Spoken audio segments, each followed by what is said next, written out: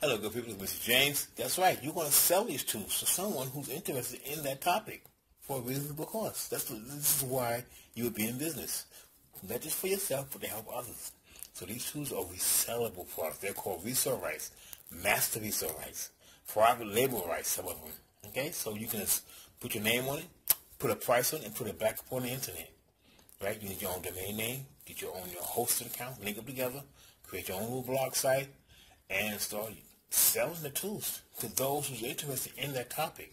So you're not going for everyone. You're going for a specific group of people. So if, you, if the person is into SEO, those are the people you want to talk to. You go to Google, type in SEO. There's millions of people talking about that topic. That's amazing. So sell these tools yourself for a reasonable cost and put them in packages, put them standalone. You can do this. Have a great day. Sell your stuff, good people. Don't be, don't be afraid to ask for the money.